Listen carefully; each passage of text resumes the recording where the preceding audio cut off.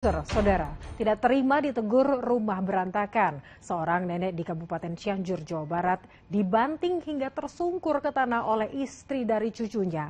Korban sempat trauma, namun kasus ini sudah diselesaikan secara kekeluargaan.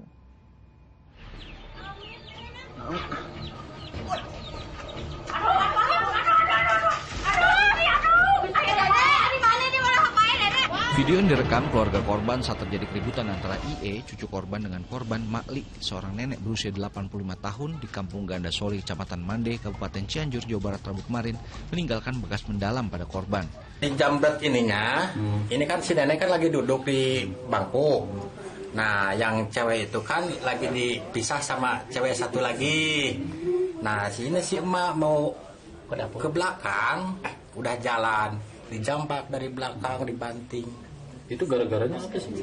Ya gara-garanya itu nggak beres-beres di rumah. Sekarang alhamdulillah baik. Nggak ada nggak ada luka nggak ada. Nggak ada nggak ada luka. Kasus antara nenek dan cucu yang ini sudah diselesaikan damai secara kekeluargaan, difasilitasi pihak desa dan Polsek Mande. Namun sang nenek sempat trauma.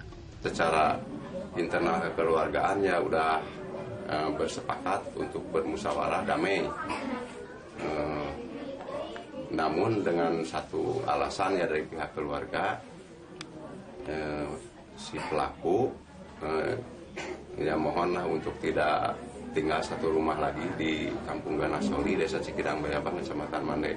Karena ini juga eh, memang belum menjadi penduduk asli Desa Cikidang Bayabang. Ini juga lagi bertamu. Rendra Gozali melaporkan dari Kabupaten Cianjur, Jawa Barat.